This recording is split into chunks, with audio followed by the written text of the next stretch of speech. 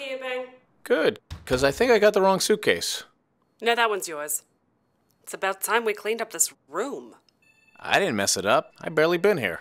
Uh huh. Aren't you supposed to clean during the day? This was a special request. Who made it? You. Me. Room 1403, that's what I was told.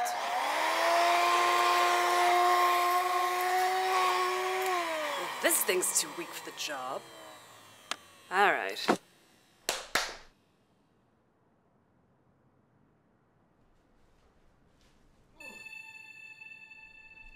Roland, I don't want to see your stupid vacation pictures. I don't care.